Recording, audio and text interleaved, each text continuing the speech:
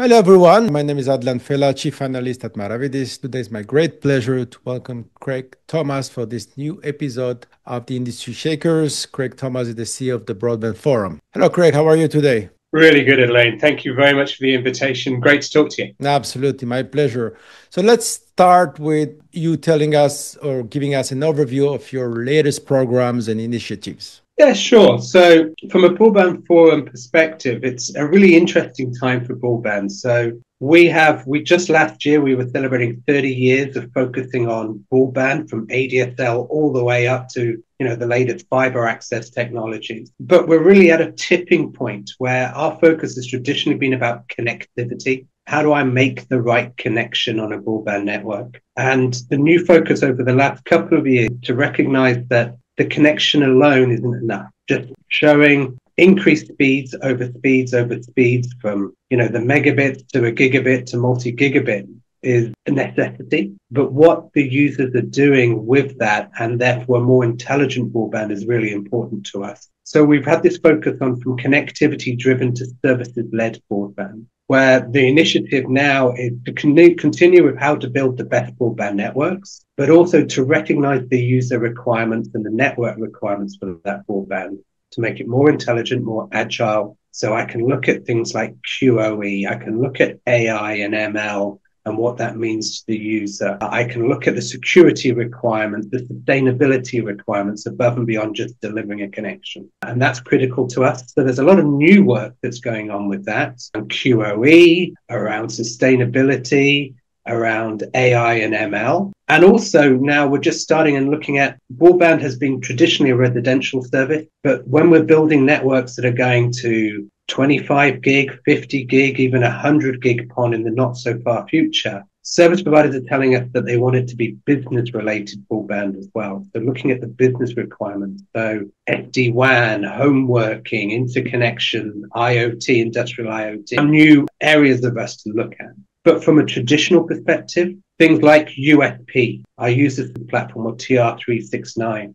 How do I manage the whole user experience? within the home and to the home and the services. That's an evolution from TR69 now to managing all the devices or as many devices behind the broadband as possible is critical. Our work in the access group around the access technologies is critical as well. So how do I ensure that the interoperability of my fiber connection can be over across multiple different vendors. So we're doing a lot of work on XGS-PON and now we've just launched standards on 25 gig PON and 50 gig PON there. Uh, so I'm sharing the this image that we created a few years back, 2019. Is, is this? I mean, this is this still up to date or? I would, of... I would, I would update it, but the most, the key points are still accurate. Yes, but there's a few up. Okay, well, we'll we'll do that after after the show for sure. So, yeah. okay, so you you did mention USP and, and other technical reports. So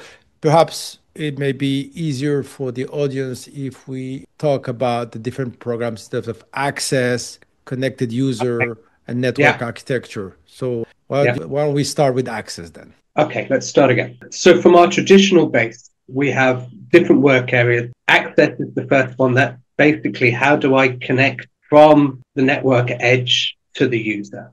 So that last mile connectivity, whether that's fiber, copper, or increasingly things like access as well within the home, there's everything that we do within connected user. So that's, you know, very much USP and how we connect services and manage those services to the end user, as well as doing things like Wi-Fi performance measuring as well. Looking further inside the operator's network, we have network architecture that looks at everything from the OLT to the data center. So things like BNGs and distributed BNG a lot of the virtualization of services and disaggregation of services, which then leads us into a provider cloud group, which is the, everything SDN, NFV, and increasingly AI, ML, and eventually autonomous networking.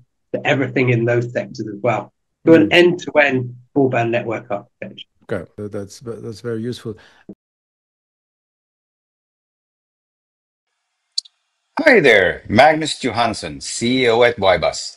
Thanks again for joining us for another fascinating conversation. For the past 10 years, we've quietly powered managed Wi Fi solutions for 10 of America's biggest telcos.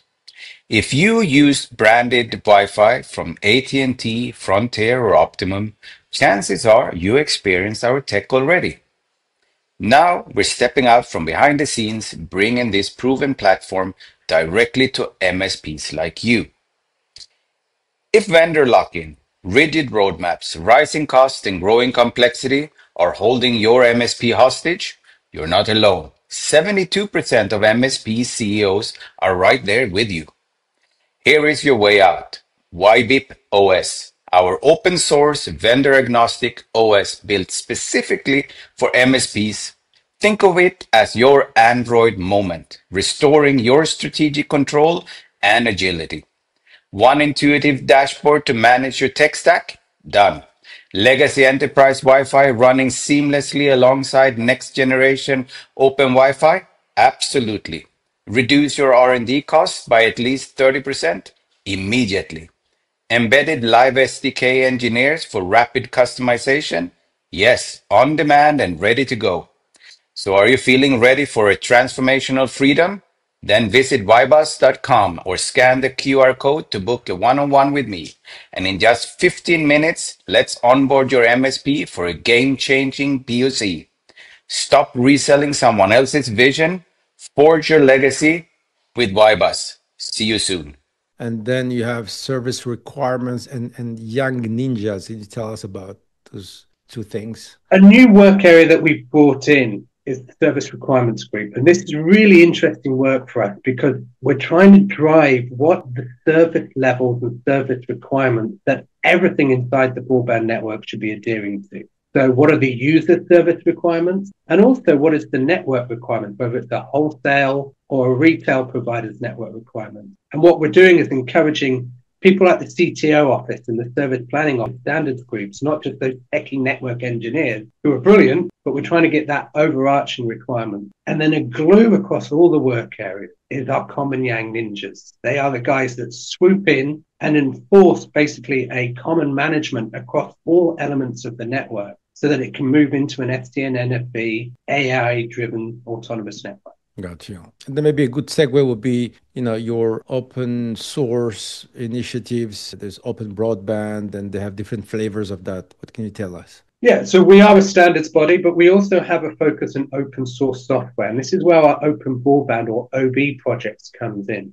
We work closely with other open source organizations, but we also have our own open source software groups that you don't even have to be members of. You just have to write a participation agreement to help us write the software and the open source software that drives standards to deployability. So, you know, some major ones of that is OBUSP agents, which gives an agent so that people can play with, model, and develop their own USP services into their network. Eh, eh, other ones include things like OBUDPST. Now, this is exciting work driven by service providers that is developing the speed test that includes the delay as well as just speed and QoE and latency to speeds beyond where traditional speed test goes. So when you're looking at more than 500 megabit services, and that's where those driven by service providers is going. There's seven or eight other OB projects where we work our open source. Okay. You mentioned collaboration with other open source organizations.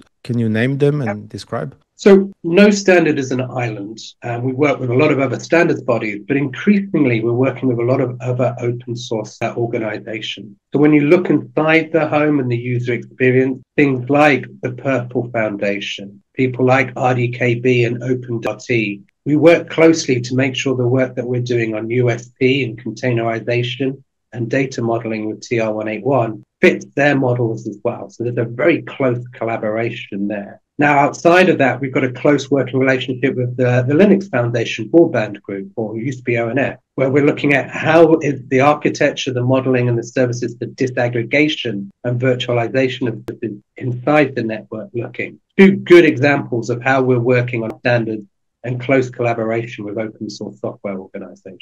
Yeah, very interesting. Now, let's dive into the work you're doing on the MDU space, a, a market that I quite familiar with. Other organizations like the WBA have now specific groups for MDU. What are you doing there? So we've always had a, a, group looking at the MDU space. That's now part of our access group.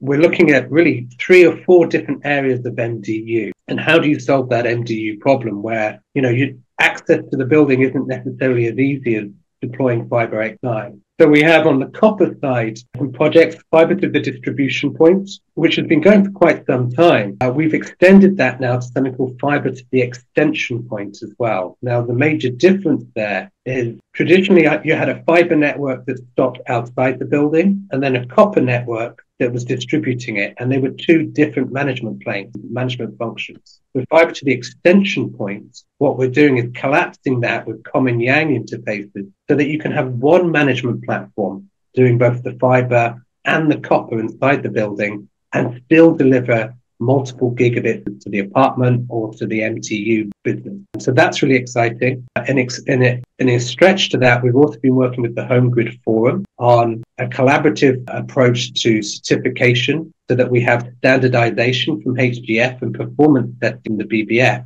that vendors can use to prove not just they interoperate, but they meet a set level of performance, that multi-gigabit low latency requirement. So that's key. Now, the next new exciting thing that we are just doing on working text now, working on a publication in, in the not so far future, is how do I then take things like fiber FWA, fixed wireless access, and have a single antenna or single modem to the MDU and then distribute that FWA using the existing copper inside the building. So there isn't just a fiber to the MDU, it can be FWA to the MDU. Okay. Uh, so what triggered that initiative on the MDU space? Is it MSPs or BSPs or is it the vendors that are initiating that or driving this? Yeah, that's a good question. It's always a mixture of the of both. So often our new project NPIPs come from the service provider community saying, I have a problem. I need to know what the best approach, the best architecture, or the standards or interoperability is.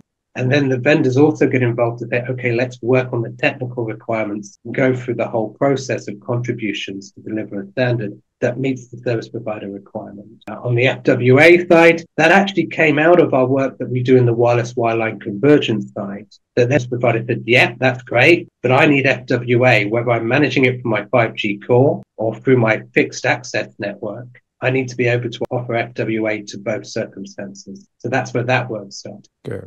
Did you guys consider yourselves a standard organization or more of a best practice organization? Can I take the cheap answer and say both? Both. Okay. we take what I often describe as we take the standards that may come from embedded in chipsets, like from the ITU, for example and we t- and we use the, the best practices, the architectures, and the standards to say how do I take that chipset standard and make it a deployable standard that I can put services across. Okay. So we do develop marketing reports, architecture design, data modeling, standards, and as well as migration of, uh, opportunities that therefore has both multi-vendor interoperability and common architecture.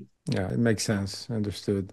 Can you describe some of the collaborations you have currently with other industry associations, and standard bodies? I mean, you mentioned OpenWRT and, and Purple Foundation, but what about other associations? And I think that's a really great question that would probably take an hour to go through on what other collaborations we have. I mean, when you look at the traditional standards bodies, everything to do with PON and the ITU, and now CableLabs with Coherent PON as well. You know, we're doing a lot of that. We work with ETSI and the IEEE and the IETF on, on working and adding to their standards to make it broadband specific. And we liaise regularly with those organizations. CableLabs, as I said, is a really interesting one because you've got the cable operators that, especially for new territory, are, are looking at fiber more than extending DOCSIS. You know, they have DOCSIS very successfully in their operating network, but for new territories, so there's a lot of collaboration and, and conversations going on there. The list goes on: WBA, Wi-Fi Alliance, Home Grid Forum, and MoCA, and FSAN and TM Forum. We liaise regularly on that work because not one standard